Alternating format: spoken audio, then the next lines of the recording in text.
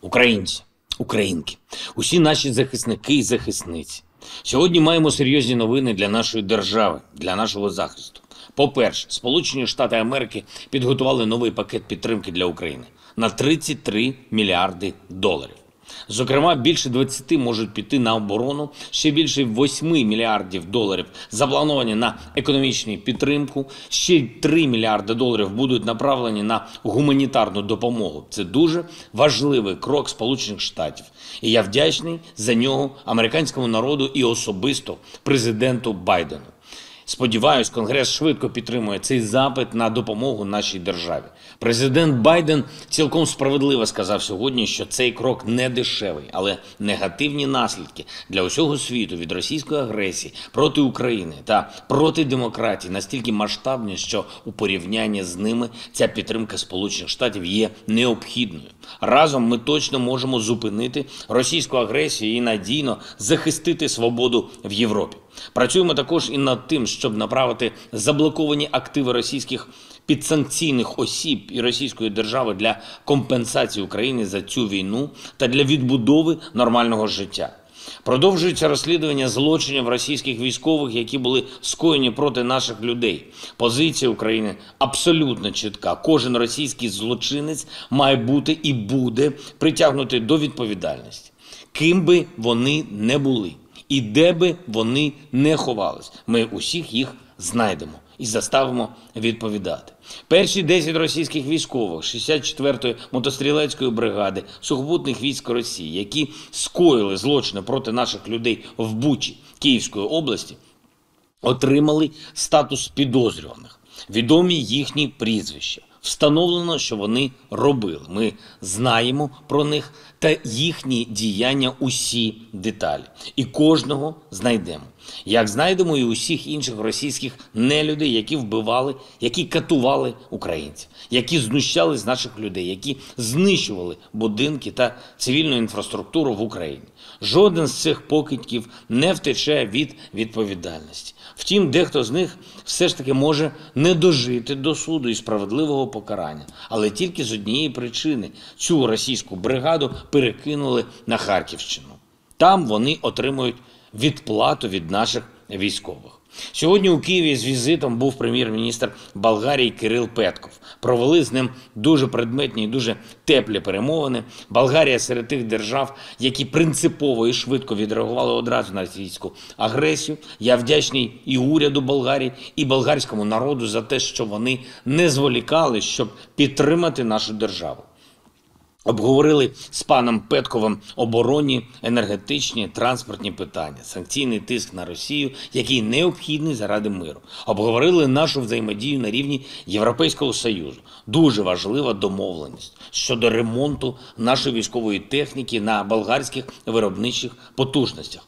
Інше питання, яке ми погодили щодо постачання української електрики в Болгарію і використання потужностей трансбалканського газопроводу спільно з болгарською стороною. Вдячний Болгарії за можливість використання порту Варна для експорту нашої аграрної потужності. Був в Україні сьогодні і генеральний секретар ООН Антоніо Гутереш. Дуже важливо, що пан генеральний секретар побував в Бородянці Київської області. І на власні очі побачив, що там наробили російські окупанти. Сотні українських міст і сотні громад пережили те саме, що і Бородянка, і Буча. Російська армія в Україні свідомо і без жодних сумнівів розтоптала усе, на чому був заснований глобальний порядок після Другої світової війни. Статут ООН, міжнародні конвенції. Декларації, права людей і держав, все те, що має гарантувати свободу і безпеку у світі, просто зруйновано російськими агресивними діями. Тож ключовим питанням на переговорах з паном генеральним секретарем ООН було, як нам зупинити російську агресію. І це не просто питання про Україну, про нашу долю. Це питання про долю ООН про долю міжнародного права, про долю багатьох народів і не тільки сусідів Росії, які можуть стати наступними жертвами агресивних амбіцій Москви. Звичайно, на переговорах багато уваги ми приділили тому, як врятувати наших людей з Маріуполя. Вважаю, що за допомогою ООН можливо організувати евакуаційну місію. Україна готова до цих кроків, але потрібно також і щоб російська сторона поставилась до цього питання без цинізму і реально виконувала те, про що говорить. В Москві заявляли про те, що вони нібито припинили вогонь в Маріуполі, але бомбардування позицій захисників міста продовжується. Це воєнний злочин, який російські військові здійснюють буквально на очах усього світу. Російські удари по Маріуполю не припинялись навіть тоді, коли пан генеральний секретар ООН був на перемовинах в Москві. І сьогодні, одразу по завершенню наших перемовин в Києві у місто полетіли російські ракети. П'ять ракет.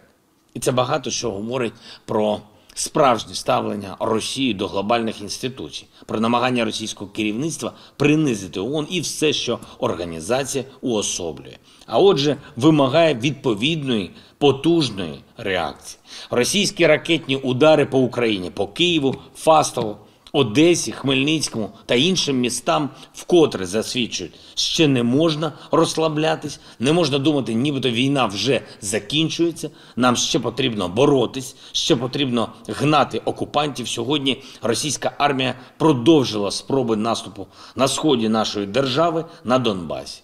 Пробує просуватися у південних регіонах. Збройні сили України стримують загарбників, і я вдячний кожному нашому захиснику, кожній нашій захисниці, які тримають позиції. Робимо все для того, щоб допомогти нашій армії, щоб забезпечити військових усією необхідною зброєю. Кожного разу в контактах з партнерами я наголошую на тому, що зброя для України саме зараз, саме тих видів, які ми запитуємо, і саме тоді, коли ми її потребуємо, це порятунок не тільки для наших людей, це порятунок для всіх вас, для всієї Європи. Вдячний тим з партнерів, хто це розуміє і хто допомагає переконати інших. Перед записом вечірнього звернення підписав указ про нагородження наших героїв. Державними нагородами відзначені 214 військовослужбовців Збройних сил України, із них 14 посмертно. Вічна пам'ять усім, хто віддав життя за Україну, вічна слава усім, хто став на захист держави. Слава Україні!